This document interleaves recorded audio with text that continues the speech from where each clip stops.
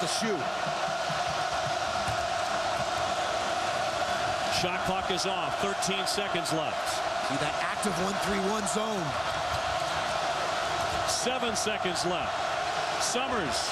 Lucas, the jump shot. Got it! Three and a half seconds left.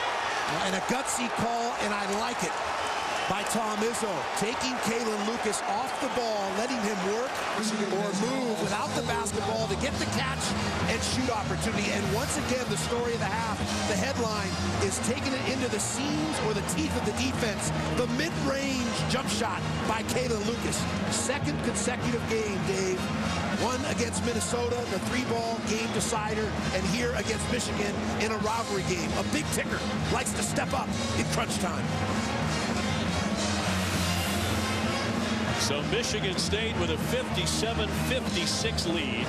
That's the 17th time the lead has changed hands in a game. And 13 times in this half.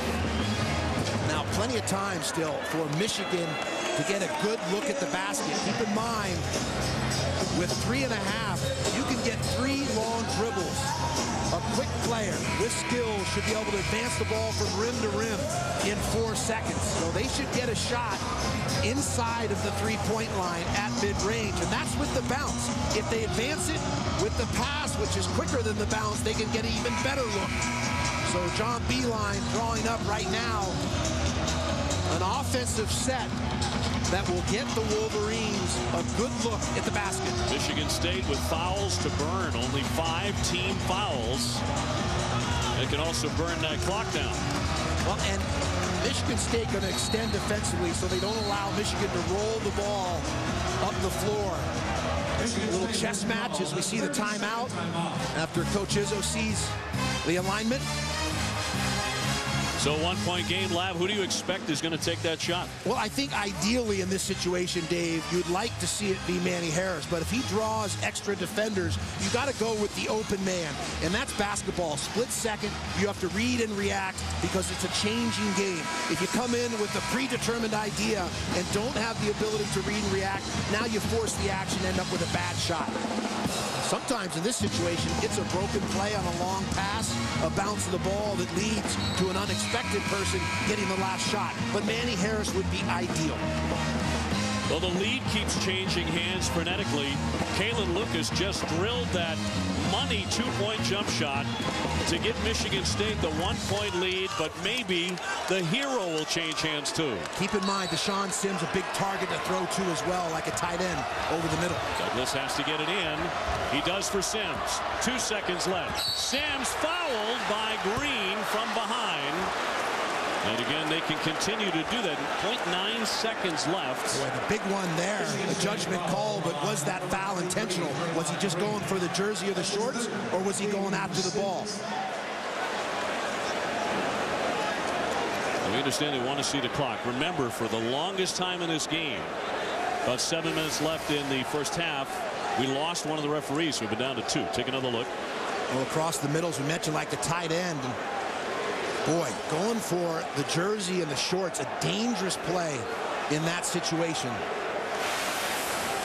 Now, they were going over there to check out the clock. They're going to put 1.5 seconds on the clock. And Michigan State clinging to a one-point lead, fouling there to prevent the shot by Sims. This is why so many coaches fear intentionally fouling in these situations. Unless you practice and rehearse it on a daily basis, there clearly the grab of the jersey and shorts, which would be an intentional foul. Now a judgment by the officials to let it go, didn't want to determine the outcome of the game, which I think is wise. But it does speak to the danger in late game fouling situations. You need to go for the ball, the jersey or the shorts. Michigan calling a timeout here, and the last one for John Beilein. By the way, tip of the cap to Ed Corbett and Antonio Petty. It became a two-man crew, and Jim Burr had to leave because of a back injury with about seven, seven and a half minutes to go in the first half. These two guys have done a terrific job. Well, they've been outstanding in terms of positioning, in terms of consistency and application of the rules, and working together as well as communicating with the participants, both the coaches and the players. Now, 1.5, Dave, still enough time to get a catch, square, and shoot, and even a quick catch, one bounce, and a shoot. The bounce makes it risky. Michigan ball on the sideline. Douglas will check it in with 1.5 seconds left. See if they go for a catch and shoot off a screen or throw it to the rim. Herzog guarding the inbound over the top, and the catch off the window won't go by Sims.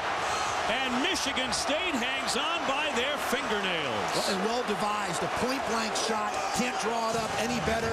They just don't finish. The lob over the top from sideline out of bounds. And DeShawn Sims may have quick shot it. With 1.5, clock doesn't start until you catch it. He could have gathered and actually come down and went back up. But again, in the heat of competition, easier said than done. So the Spartans remain perfect in the Big Ten at 8-0. They're now 18 and 3. Sims had a chance at the buzzer. Just a direct pass over the top. And again, another hold of the jersey, this time by Durrell Summers. The no call and not a finish by DeShawn Sims. You know it's a rivalry game when everyone's holding on to each other's jerseys and shorts late in the game. You got to love it. Big Ten style. You were hanging onto my jacket the last five minutes of that game. A nail biter. It was exciting, but more so certainly for the Spartans who win it.